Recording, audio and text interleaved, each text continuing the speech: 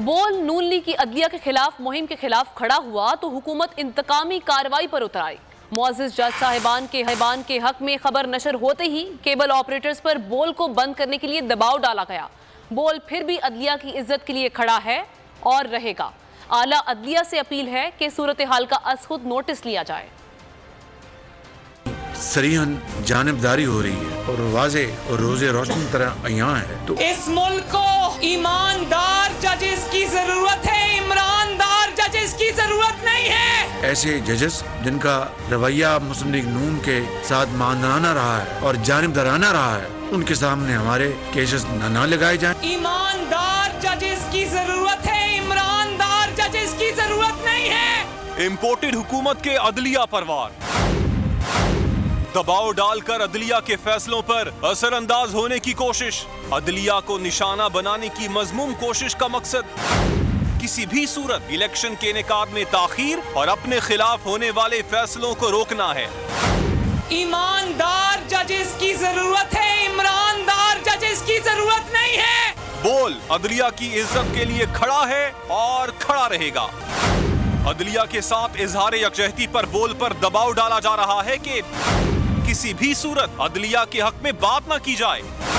ताकि मुख्तलिफ़ media channels और सोशल मीडिया के ज़रिए जजेस के खिलाफ मुहिम चलाई जा सके। हमारे जराये का कहना है कि अपने मजमूम मकासद को हासिल करने के लिए इसी तरह से एक एक करके आला अदलिया को निशाना बनाकर उनकी किरदार कुशी की जाएगी। हमारे मुल्क का अलमिया ये है कि अनफॉर्चुनेटली हक और सच की आवाज़ बुलंद करने वालों का मुँह हमेशा के लिए बंद किया जाता है। मेरी 22 करोड़ आवाम से ये रिक्वेस्ट है कि बोल न्यूज़ का साथ दें ताकि हक और सच की आवाज़ को हमेशा बुलंद किया जाए। बोल टीवी जो सुप्रीम कोर्ट को सपोर्ट कर रही है और बोल टीवी हमेशा जो है हक और सच की बात करती है। हम बोल टीवी के सारी टीम को जो है खराज तहसीन पेश करते हैं उनको सलाम पेश करते हैं। बोल न्यूज़ की इस दौर में हक और सच की जो बात है वो बहुत अच्छा मुल्क के साथ वफादारी करते हुए जो सच्चाई है और हकीकत है वो बयान कर रहा है। तो इसकी ट्रांसमिशन जो है आ, मीडिया में सबसे टॉप पर जा रही है।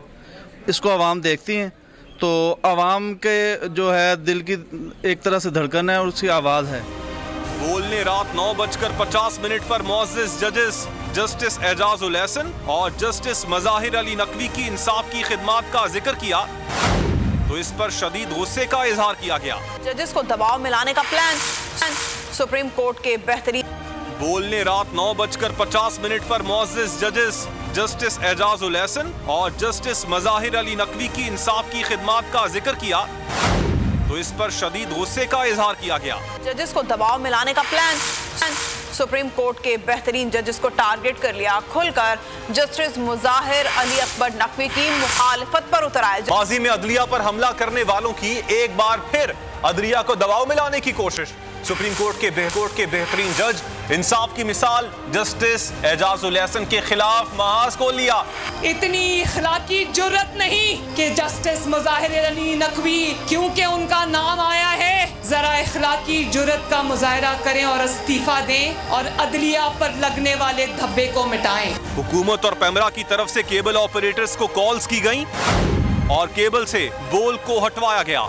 इससे पहले भी पैमरा ने लाइसेंस और दीगर बहानों से जब भी बोल को बंद किया तो अदालतों ने अपने अहकाम में पैमरा को बोल की बंदिश से रोका। जबकि चेयरमैन पैमरा के खिलाफ तोहीन अदालत के दो केसेस भी अदालतों में मौजूद हैं।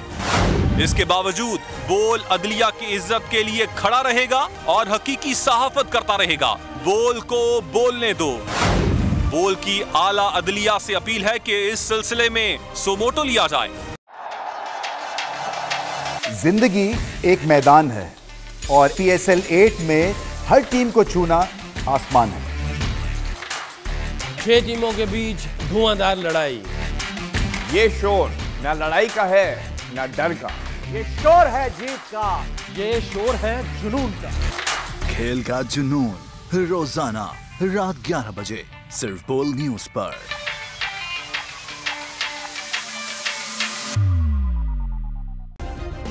सब्सक्राइब करें और बेल दबाएँ ताकि कोई खबर रह न जाए।